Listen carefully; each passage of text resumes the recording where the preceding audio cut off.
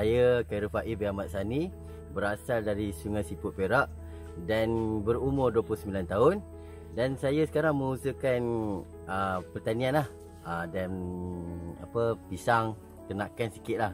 Ya, harapan saya uh, untuk kerajaan negeri Perak dapat develop benda ni kita dah ada satu contoh kampung yang berjaya dekat kampung Pulau Tiga ni. Jadi kita cuma nak copy paste konsep yang sama bawa pergi ke kampung Lasah Sungai Siput. Ah, jadi impian saya ni saya nak bantu orang-orang kampung buat pertanian, buat perikanan, buat peternakan dan benda tu semua boleh jadi agro pelancongan sebab Sungai Siput dia ada satu apa kampung Lasah ni ada satu sumber tarikan pelancongan iaitu Kuala Mu tempat orang bermandi-manda beristirahat lah. Jadi memang itu antara satu tempat yang menarik dekat Sungai Siput. Jadi saya nak develop agro pelancongan di Sungai Siput.